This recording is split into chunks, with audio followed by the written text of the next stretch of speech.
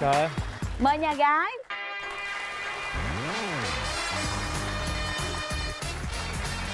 Chào cô gái. Mời cô gái của chúng ta ngồi nào. Rồi bây giờ mình giới thiệu mình nói lớn lên cho bên kia cùng nghe luôn nha. Bắt đầu đi em trai. Dạ, lần đầu tiên xin chào anh Quyền Linh, chào em. À, chị Ngọc Lan, à, bạn gái à, chưa biết mặt. Và xin chào mọi người. Khán phòng ngày hôm nay. ừ. À, em tên là Nguyên, em à, sinh năm 1985, à, quê ở Bình Dương. mình À. bằng tuổi đó bằng tuổi bà mối bên kia đó em làm công việc gì Lái xe dịch vụ anh, tại nhà có xe ô tô á. ai thuê Dạ. chở đâu Thì- hay mình chờ chở Dạ, đó đúng không Dạ đúng rồi. rồi đó là lý lịch trích ngang của nhà trai đó nhà gái dạ rồi bây giờ mời nhà gái giới thiệu về mình nè Em xin chào anh Nguyên Linh, xin chào Ngọc Lan với lại quý khán giả. Em xin tự giới thiệu, em tên là Phạm Ngọc Quế Phương. Dạ, em sinh năm 1991. Hiện đang ờ, sinh sống và làm việc tại ờ, Hồ Chí Minh. rồi mình đang làm công việc gì ạ Dạ, em đang là nhân viên văn phòng. à, quê mình ở sài gòn luôn hay là mình ở Ờ, tỉnh? dạ, quê gốc thì ba mẹ thì là ở Nghệ An. ừ. quê nghệ an Cùng quê với em, em cũng gốc ở Nghệ An. gốc nghệ an luôn hả Wow. à, rồi bây giờ thì à, em nói cho bên nhà gái biết đi nguyên em có ưu điểm khuyết điểm gì Dạ, ưu điểm à, thì em à, thật thà có sao nói vậy. tốt đây là ưu điểm tốt đó Dạ, khuyết điểm thì à, em không, không biết luôn hả? Không biết. nhưng mà ờ, chính cái thật thà đó là đôi khi nó cũng là khuyết điểm đó. Dạ. có gì nói hết luôn. Dạ dạ. Nhiều khi nó không hay lắm. Dạ. có những thứ nên giữ riêng cho mình không nên nói. Bên nhà trai tôi không có gì chân á, có ưu điểm không? Không có khuyết điểm. Còn nhà gái sao nè? Ưu điểm á thì em là một người khá là ờ, quan tâm với người khác, cũng không dạng như là cũng thấu hiểu, cũng ờ, thích chia sẻ với mọi người, những người mà em thực sự quan tâm như thế. Khuyết điểm thì có lẽ là có một chút lười giao tiếp với lại ờ, những người khác. đúng thiệt là nó là khuyết điểm nó sẽ Dạ. không có tốt cho cái công việc của mình Dạ. cũng như là những cái mối quan hệ của mình khi nào khi mà mình thực sự mà mình cần á, Dạ. rất là khó cho mình cuộc sống á mình phải giao tiếp nhiều mà có giao tiếp nhiều mình sẽ có rất nhiều điều kiện sau này sẽ hỗ trợ và bổ trợ cho mình rất nhiều trong công việc Dạ. ha Dạ. rồi bên nhà trai hiền lành lắm có sao nói vậy? Dạ. ừ. nhà Vậy- gái cũng vậy à. Vậy giờ mình nói, có sao nói vậy nè. Mấy mối tình? Ờ, nếu mà xét từ khi đại học đến giờ á, thì ba mối tình là có um, một cái đơn phương, một cái uh, song phương và một cái uh, gần đây nhất là cũng dạng mập mờ xong rồi. Mập mờ hả? Dạ. Nhưng mà mập mờ xong rồi làm cho rõ luôn rồi chứ anh. Làm rõ xong là buông luôn á hả? Dạ buông luôn. Đã yêu là nói là yêu không? Dạ. Không yêu thì nói một đàn cho xong không có mập mờ. Dạ. vậy tốt. Mối tình nào mà nó nó sâu sâu đậm nhất? Dạ thì mối tình sâu đậm nhất thì là mối tình song phương. Là mối tình uh, thứ hai là anh đó cũng hơn em một tuổi. Em muốn chia sẻ là em là người bên đạo nên À. cũng hơi khó trong cái vấn đề mà kết hôn sau này. Rồi. thì lúc đó còn trẻ thì cũng không có muốn ờ, tiến tới quá quá. Thì Ok. nói chung là suy nghĩ là gì? Không sao bây giờ mình tìm hiểu sâu chút xíu ha cố gắng làm mối tình này là mình bền vững luôn nha. Nhưng mà bây giờ một người con trai đến với em mà không phải cùng đạo với mình thì em có xử lý được không? Thực ra thì thời điểm đó là do còn nhỏ nên không có thời gian để mà nói chuyện với nhau thẳng thắn. Thì em nghĩ nếu mà sau này thực sự là một người mà em thích và có cảm xúc thực sự với bạn khi mà tình yêu đủ lớn đó thì họ sẽ tự giải quyết vấn đề này. Dạ. Dạ. Nha. Đúng. Thôi tôi tôi chịu nhà gái rồi đó nhà gái ờ, dễ thương lắm còn giờ nhà trai sao? Bây giờ ờ, bà mối qua coi nhà trai để coi đi sao. qua nè chứ qua tôi thấy nhà trai tôi hơi bị được rồi đó. À nhà trai tôi dạ chịu dạ nhà gái nhà rồi nha. trai. Mình bằng tuổi với nhau đó. Nhà trai mình là bao nhiêu mối tình rồi? Ừ. dạ hai. Mối tình sâu nặng nhất là mấy năm nè? Bốn năm hồi à, hồi cấp 3 vừa xong cấp 3 Dạ, rồi mới xong cấp 3 là biết yêu rồi. dạ. Sâu nặng quá 4 năm rồi sao chia tay vậy? Dạ, đợt đó thì nói chung đi lính đợt đó đi lính. Đi lính cái chia tay. người ta đi lấy chồng luôn rồi người ta đi lấy chồng luôn rồi Ẩm con ẩm con luôn rồi. Ôi là trời thấy thương không? Rồi vậy thì bây giờ anh nói luôn cho ờ, mọi người nghe rằng là cái cái tiêu chí mà anh muốn có một người bạn gái như thế nào. nói chung là về cái ngoại hình thì cũng tương đối bình thường thôi. Một mét sáu đổ lại rồi. Mét sáu trên hả? dưới mét sáu đi. Dưới mét sáu là dư xăng. Này không bực bình thường hơn bình thường được không Bên đó là tiêu chuẩn hơi cao á. Rồi tính tình sao nè? tính tình thì nói chung là nếu mà có hài hước rồi đó thì thì thì, thì vui rồi, coi coi có hài hước không chứ nãy giờ cũng ít ít nói chuyện. Ở bên đây hiền lắm. thì, đó. thì hay như, như, như nếu mà hiền á thì thì em biết cách làm cho nó hài hước À, làm được đúng không? Được. Đó, có làm gì đâu. sao thọt lét ta hả rồi đâu có thật lét đâu chứ sao Sao? làm cho ta hài Thì- hước nha thì mình mình mình có những cái cái cái cái câu chuyện đó nó nó tếu tếu á. à, cái điều gì ở người phụ nữ khiến cho bạn không thích? Nói chung là mình thích cái mẫu người truyền thống và nó pha hiện đại không hẳn là truyền thống lắm nhưng mà nó hiện đại một chút cũng được nhưng mà nó pha trộn giữa hai cái đó. Vậy đó mà kêu đơn giản thôi. À khó đó. Sao bây cô giờ gái? nhà trai đưa ra ý kiến đó rồi em gái thấy em đáp ứng khoảng nhiêu phần trăm? Dạ Theo em nghĩ thứ nhất là về hài hước Hài hước thì em thì thuộc dạng khá là thân thiện đối với mọi người Hài hước thì chắc là tùy duyên Ví dụ như mình hợp gu thì mình sẽ thể hiện được cái hài hước đó ra Đúng. Còn không hợp gu thì chịu ừ, không có À. học gu là cái mặt trò quạo Dạ. quạo vậy đó không hợp gu nói gì cũng nghe vô duyên đúng rồi Dạ.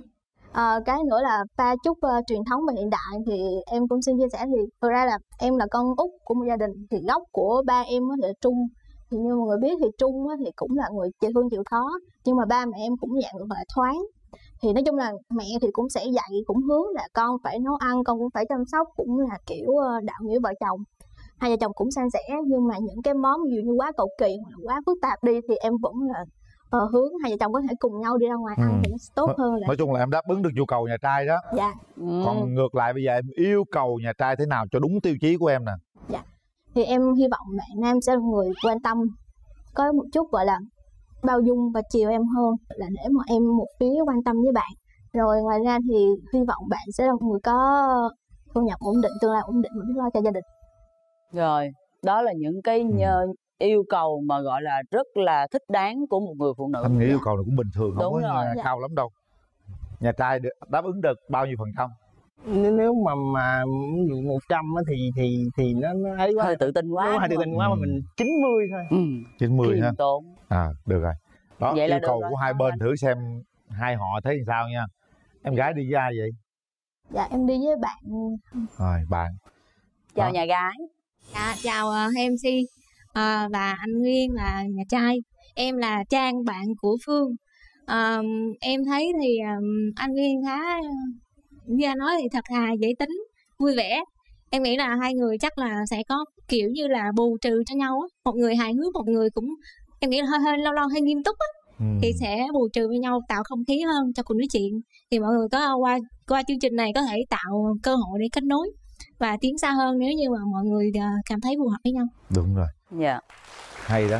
Nếu ta, ta cảm thấy phù hợp nhau ta tạo điều kiện cho hai người hiểu nhau nhiều hơn. Dạ. Còn nếu không phù hợp á thì khỏi kiến tạo làm gì cho nó mệt ghi bạn luôn anh kiến tạo ghi bạn luôn hai hai Hai- hai đó, nha hai đó. nha em đi với ai em đi với lại ba em với lại cô ruột với à có ba rồi chào ờ, nhà trai À, chào à, hai MC à, Dạ. Quyền Linh với lại Ngọc Lan. Dạ. À, tôi là ba của cháu Nguyên. Trước tiên là cảm ơn hai MC và ekip chương trình. Còn à, cháu gái á, thì là nói chung là ba là ok. Nói chung là cả con nên tạo cho nhau một điều kiện. Chứ bây giờ à, tạo nhau cơ hội là sau đó là mình tính tiếp. Thì Dạ. à, nhà trai chỉ có như thế thôi. ba dễ quá ha. Dạ. rồi. Hai trẻ gặp nhau thôi. Mở mở ra. bắt đầu nha nguyên. Nguyên còn lại là của em đó. Em run quá. Em run quá hả? Thoải mái mà hài hước lên xuống về là được á. Đi tới đi. Tới được rồi đó. Như là sao? Người ta kiến quá. tạo rồi đó ghi bàn đi. Ai ghi bạn ừ em chứ ai anh có món quà tặng em. Dạ. Em nhân dịp gặp lại lần đầu tiên. Cái này là con gấu bông nhỏ. Dạ. là mục đích á là nếu mà bạn làm ở phòng á thì bạn để trên mấy máy tính hay bàn. Nhìn đây nhìn tôi chi đâu có tặng tôi đâu. Ờ, là là để đó thì mình mình để trang trí cũng đẹp. Dạ. cái cái này là cái khung hình. Nếu có thể thì bỏ hình của anh em vô đó. Càng hay. Đó dễ thương dễ thương quá. không? Dạ. Rồi giờ bỏ vô Rất túi cho thương. bạn nè. Ờ, em cũng cảm ơn anh món quà của anh. Ờ, em thì có một món quà nhỏ cái này là cái ờ, cây thủy sinh. Thì tặng cái cây thì không có ờ, tốt cho lắm. Nếu mà cây chết thì tình cũng chết nhưng hy vọng là anh sẽ chăm sóc nó đến khi nó tồn tại mãi mãi. Cảm ơn anh. Cây chết thì tình cũng tan. Rồi hèn về gì? cái này là vô thế luôn anh. Vô thế rồi phải chăm thôi. Để rồi đây. Cưng mấy chục năm mới gặp lần đầu tiên đó thấy sao? Em đúng là cái mẫu người anh cũng ờ, tìm kiếm. Dạ. Ờ, Dạ. anh có thể cho em biết lý do tại sao anh nhận xét vậy không? Tại vì hồi nãy giờ anh có nghe em nói chuyện với lại à, anh linh á. Ừ. thì những cái sở thích những cái ưu khuyết điểm của em á thì anh cảm thấy nó nó có vẻ như ban đầu thôi thì nó có vẻ phù hợp với lại những cái điều mà anh anh mong muốn như vậy. Và anh cho em hỏi là ngoài thời gian rảnh thời gian dành cho công việc á thì anh thường sẽ làm gì? Đa phần là là uống cà phê là nhiều. Anh không có nhậu nhẹt gì hết. Anh không hút thuốc. Anh đã từng hút thuốc và anh bỏ rồi. Em có thể hỏi lý do tại sao anh lại chọn là làm tài xế riêng cho gia đình không ạ? Cái đó nó nó giống như kiểu bây giờ nó là nó nó đam mê hay sao em anh có đặc biệt đam mê với cái xe. Xe ô tô. Ừ anh anh có anh anh trang trí rồi tất cả mọi cái rồi. Nhưng mà anh anh thích nó. Thì mình làm cái gì nó đam mê thì thì thì nó sẽ đạt cái hiệu quả cao nhất. Khi mà anh đến với chương trình này á thì kỳ vọng của anh sau cái chương trình này giữa hai đứa mình nó sẽ là bao nhiêu phần trăm? 80 phần trăm. 80 phần trăm. 80 phần trăm. Là chúng ta sẽ đi đến tình yêu thôi đúng không? Đúng. Dạ. mà cái gì nó qua có, có một cái khoảng thời gian để ờ, bắt đầu. Nhưng em phải nói cho em biết là dự định bao giờ em cưới vợ để coi người ta thấy hợp không? Nếu mà nhanh thì vài tháng thôi chứ tại vì anh cũng đã lớn tuổi rồi. Nói thẳng là mình cũng không có nhiều thời gian. Thì em cũng đến tuổi thì mình nên Đâu, rút, sao- rút rút gọn lại. Sao biết ta lớn tuổi? Mình nói mình lớn tuổi thôi. Em quên. Mới quen bạn gái thì thấy em cũng lớn tuổi thôi mình sớm sớm. Em, em quên. Khi nếu như cưới nhau về thì cô có làm dâu không? Rồi ở đâu rồi làm cái gì? Với lại phần á là em anh nghĩ là em gốc nghệ an anh gốc nghệ an thì chắc cái gì mình sẽ có cái điểm chung ở cái cái cái cái điều đó. Nó nó, nó sẽ tốt cho gia đình bên em cũng như gia đình bên anh thì nó sẽ có ưu điểm ở chỗ đó. Rồi nói mình đã chuẩn bị cho đám cưới cho người ta biết luôn. Em có quyền lựa chọn ở chung với gia đình hoặc là ra ngoài thuê nhà hay là tất cả mọi mình có thể bàn bạc với nhau được hết sao cũng được hết. Làm vợ cũng được mà không làm vợ cũng được. Không không không làm vợ được mà không làm vợ là không được phải rõ ràng cái đó chứ. Còn tỉnh táo đó chứ Ờ. dài người ta hoài á chứ nói cái gì cũng được là không được. Dạ. Đó. Nhưng mà bây giờ ví dụ như nhà gái nói là ờ, em muốn đi ra ngoài ở nhưng mà là mình cố gắng một hai năm mình mua nhà chứ mình không ở nhà thuê thì có được không? Bây giờ bên gia đình em có thể là hỗ trợ hay như thế nào đó Hỗ trợ thể- được, đúng dạ, không? ví dụ như vậy. Nhà rồi trai tôi dễ lắm. Vậy là ngon lành. Nhà trai tôi phải nói là số 1 luôn á. Bây giờ tất cả cái gì đưa ra là nhà gái tin tưởng chưa tôi ok rồi mà tôi không biết là cái cô kia có khó. Ừ cô này là khó của cô rất tôi đó. là khó luôn đó. Thôi giờ tới gần cho nó dễ chút xíu nào. Dạ. Này trái như bạn ơi Đó, đúng trái giai đoạn cái gì đó luôn á nhìn thẳng mắt nhau. Dạ. Trao nhau cảm xúc nè. Đó bây giờ nguyên thấy nắm tay em gái rồi nhìn thẳng ánh mắt của em ấy.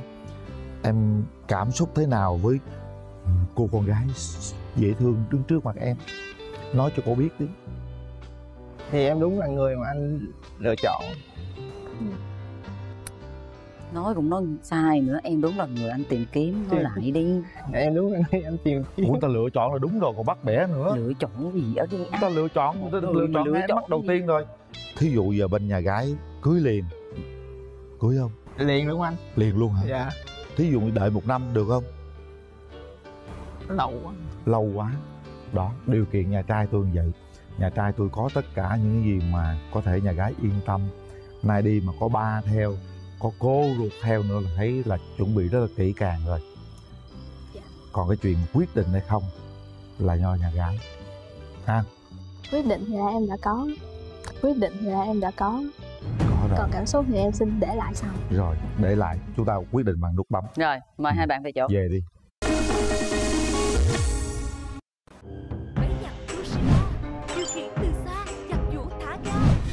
khi ta quyết định là chúng ta phải có trách nhiệm quyết định đó, không phải bấm để làm vừa lòng ai đó, mà bấm để chúng ta cùng hướng tới một tương lai, một hạnh phúc. Quyết định hay không quyết định là quyền các bạn. Sau 3 tiếng đếm. Một.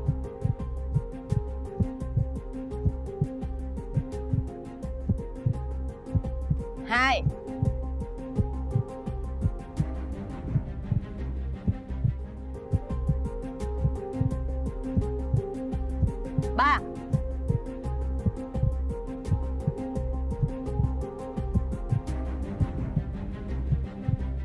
Hết thời gian nhà gái không bấm cô gái rất là khó yêu dạ khó hẹn khó rung động À, cho em nắm tay anh lần nữa. Dạ. Ờ, xin lỗi anh rất là nhiều. Em cũng cảm nhận được cái tình cảm của anh dành cho em. Có thể là chúng ta cần thời gian. Thì nếu mà có dịp thì chúng ta sẽ tiếp tục ở bên ngoài. Còn cái này thì em vẫn muốn sống thật với mình. một chút. Ok. Cảm ơn anh nhiều. chúng tôi trân trọng à, quyết định của bạn nha thật ra đó mới là bản lĩnh đúng rồi. không phải là mình không thích mình bấm đài cho xong chúng ta vẫn còn điều kiện để tìm hiểu với nhau. Dạ. có những cặp đôi lên đây không bấm nhưng họ đã cưới nhau từ lâu rồi bằng mọi giá trồng đúng cây si trước nhà luôn trồng ngay trước mặt cô ấy bất kể hoàn cảnh nào. Chàng trai dễ thương mà. Đúng một rồi mẫu người rất là nhiều cô gái hướng đến đó. Còn cô gái kia thì nói chứ cũng nên mở lòng một chút xíu. Dạ. khó quá là mình tự làm khó mình luôn đó. Nha chúc hai em sớm sẽ tìm được nửa mảnh ghép cho riêng mình nha. Rồi, chị Lý ơi, mình có thể để xa cái điện thoại ra một chút xíu không ạ? Chào em. Rồi, dạ rồi, ok chị ạ. Ờ, chị giới thiệu đôi nét về bản thân chị gồm họ tên, tuổi, rồi những điểm mạnh, điểm yếu, sở thích cá nhân của chị nha. Ờ, chị đã trải qua mấy mối tình rồi. Dạ.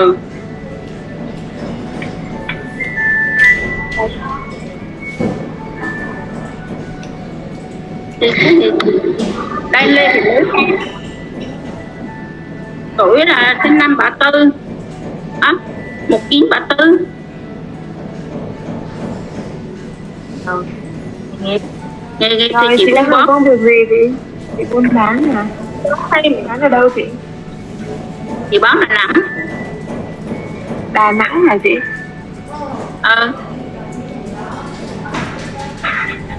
Là chị đang sống tại Đà Nẵng đúng không? ờ, đúng rồi em Dạ, chị buôn bán cái gì thế ạ? chị buôn bán thì khai quan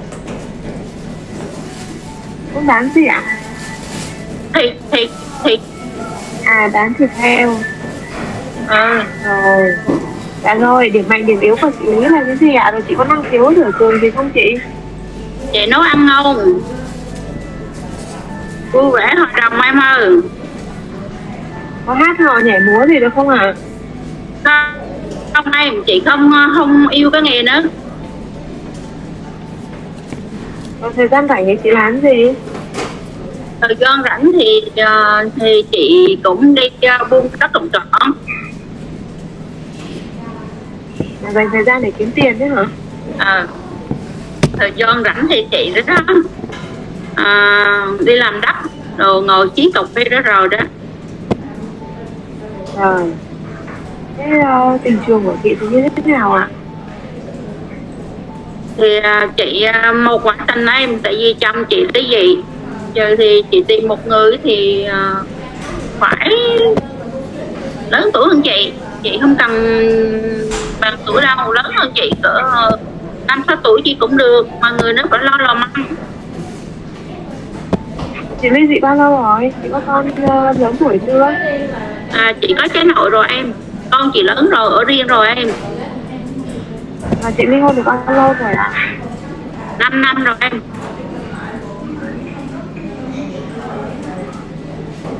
Rồi chị sống với ai? chơi gì sống một mình em độc thân nuôi tính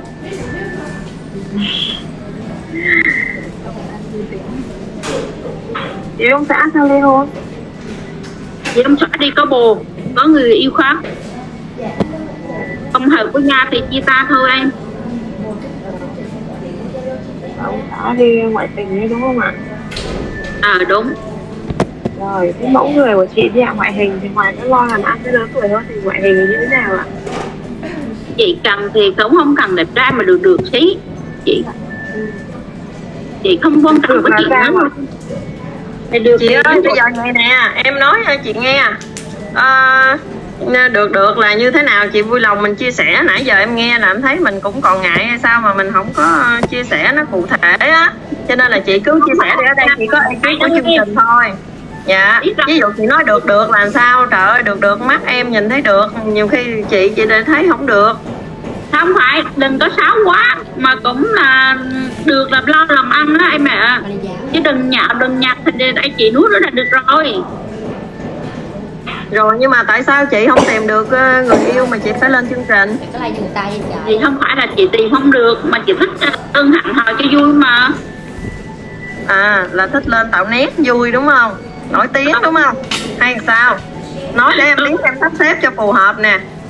Ưng uh, lên chương trình cho vui thì lên thì để ưng tìm lắm mà chị đang tìm mà không nhưng mà em thấy chị cũng ờ, lanh nói chuyện rồi vui vẻ lắm. À thì ở ngoài không có anh nào được hay sao? Hay, chị nói thiệt em không phải là cái đó là không có mà chị không thích. Chị nói thiệt em là không phải là không có ở đây trời ơi đầy rồi. Nhưng mà sao chị không thích đâu chị nói những cái điểm là những cái anh đó mà chị không thích. Tại vì nói em này gặp toàn người mua cũng là đồ mỏ hết của em là họ muốn lợi dụng mình không đâu mình không thích. Là hiểu rất là em hiểu rồi chi nữa? Đúng không? Lợi dụng là lợi dụng tiền bạc hay là tình dục hay là cái gì chị? Đúng rồi đó. Nói như em là đúng rồi đó. Họ lợi dụng tiền bạc không thôi. Họ qua của mình là họ toàn là lợi dụng tiền bạc thôi em nè ừ. Ừ, trời ơi mà ở ngoài chị nói nhiều người như vậy mà không có người nào mà họ gọi là đàng hoàng mà tiền không lợi dụng hết hả? Không là ai cũng vì tiền hết đúng rồi toàn lợi dụng. À đấy với chị cũng vì tiền hết thôi chị đứa đó mà chị muốn hẹn họ để làm làm một người để làm, làm bọn cho vui mà. Ừ nhưng mà bây giờ lên lên chương trình rồi làm sao mà chị biết là cái anh đó anh gì tiền hay không? Có cái bí quyết gì không? Chứ người ta nói chuyện mà sao mình biết? Nhìn người nhanh lắm em ơi. Nhìn người nhanh lắm hả sao đâu? Nói chị chỉ em đi. Sẵn là chỉ tụi em luôn nè coi sao để tụi em biết luôn coi. Sao? Họ lên họ nói họ nói về tiền nhiều hay là gì mà mình biết? À, gì? Họ nuốt của mình này tiền này. Đánh của mình với lại em ngó có miệng họ họ mở miệng ra là tiền tiền của là họ có không có rau ngay chỗ gần cái độ mũi là em cứ cái rau mà chả chả. Cái thèn nó là toàn là đồ mỏ à, có rau hả? Có rau ngay à, gì? Rau càm á hả chị? Rau mà ngay chỗ lỗ mũi mà anh chảy ra em kìa. Thấy không có khí chả trời ơi ghê vậy hả? Hay quá ta. Còn rau quay nón được không? rau cô nấu được ok. Rau quay nón men hả? Ờ. có hồng á vía ờ. Rồi người là là vui tính lo lắng cho chị chị không cần là bật chất chị nói thì em là như rứa. Dạ bây giờ như rứa làm sao? Còn yêu cơ cầu gì nữa không? Mà chuyện uh, gia đình ảnh ly hôn rồi này kia được không? Ly hôn được không chị? Ok. Chị các ảnh cũng có giờ có ly hôn cũng được hai đứa con vẫn được bình thường. Chị cua câu họ như là con của chị. Mà họ về đừng có đâu thử con chị là không được là chị cũng không thích ừ. Rồi chị sanh con nữa được không? Ok được. Trời ơi chịu chơi dữ vậy đó. Chịu chơi chị đã nói chịu chơi mà. Bây giờ sinh mấy đứa nữa được nè. Sinh thích nít không? Anh này anh thích nít lắm mà sinh nữa được không? Nhiều đứa được không? Được ok. Được không đó bà? Bà hứa xong rồi bà không được đó. Này chị nuốt là đâu hồi xưa trời chưa biết nuốt là ra đấy em nè. Chị Không, đi ra ngay là có đồng tiền nhiều khi cái vấn đề về à, sức khỏe của mình đâu đó chị nhiều khi lớn tuổi không? Anh đó giờ ví dụ chị có thích lớn tuổi hơn chị nhiều không? Nhiều khi 10 rồi tuổi à, 15 tuổi cũng được. Dạ. Nhưng mà lên chương trình chị có chịu chia sẻ vậy không? Theo kiểu là phải chia sẻ nó, nó cụ thể vậy đó. Mấy anh ở ngoài là toàn là vì tiền đồ đó được không? Ok chị đã đã, đăng ký trong chương trình thì chị phải chia sẻ như em chứ. Của em chứ rồi. em ừ, chứ ở đây à, nói mà không được thì cũng khó ha. Rồi vậy thì à, ok chị chị đang ở đâu? Ở Đà Nẵng. Đà Nẵng rồi bay vô Sài Gòn tham gia được ha. Ok. Có Dạ. hai triệu rưỡi. Giá vàng hả em? Đúng rồi có nhiêu đâu? Chủ yếu là vui mà trời chủ yếu là vui rồi rủi lên rồi à, chị có khó quá không? Nhiều khi chị chị vui nhưng anh kia ảnh có mỗi cơ hội này để lên kiếm vợ thôi à. Biết rồi ok. Ừ. chị chị buồn chị nói vui Dạ. quá quá. Tại giống như chương trình mình là nghiêm túc á chị cho nên lên kiếm người yêu kiếm chồng kiếm vợ đàng hoàng chứ à, mình chơi là tội nghiệp người ta. Biết ờ. đâu. Chị hiểu mà. Tập nhiêu nay giá nhiêu rồi cái gì? Giá nhiêu chà giá bữa nay còn có à, thịt mông thì còn có 80 thôi em. Rồi mấy cái mà đồ để làm giò thủ á chị nay còn nhiêu? Còn rẻ lắm tại vì mấy bữa nay chị nghỉ chị cũng chưa làm lại kìa. Tại vì à, hai bữa nay ba bữa nay chị nghỉ. Chị à đi vậy hả thôi chừng nào làm lại nói nghe nè cho em xin cái bản giá vốn ngày đi để em ra ra, ra chợ em có mua em trả giá rồi với. Không em ở sài gòn mà đâu có biết gì nhau đâu chị lo ha. Ok cái nó bình thường chị cho vẫn gió bình thường. Ở nguồn nó thì tiền rẻ hơn ở trong đó.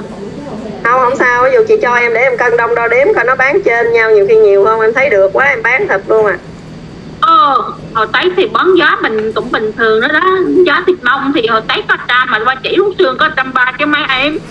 À anh thông này. Rồi để em biết. Rồi cảm ơn chị nha bữa đó đem cục thịt lên tặng ảnh ha. Về kho hai người ăn. Ok.